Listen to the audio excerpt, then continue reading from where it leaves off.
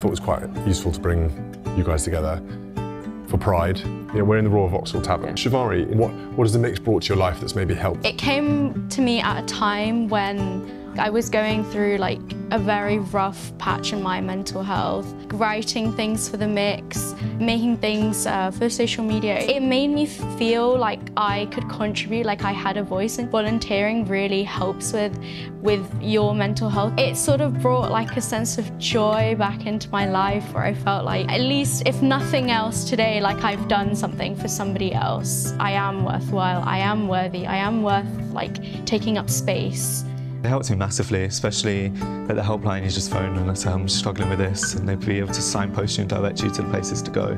They were the ones that told me to contact the switchboard and told me that there's an amazing charities out there that, that tackle these issues.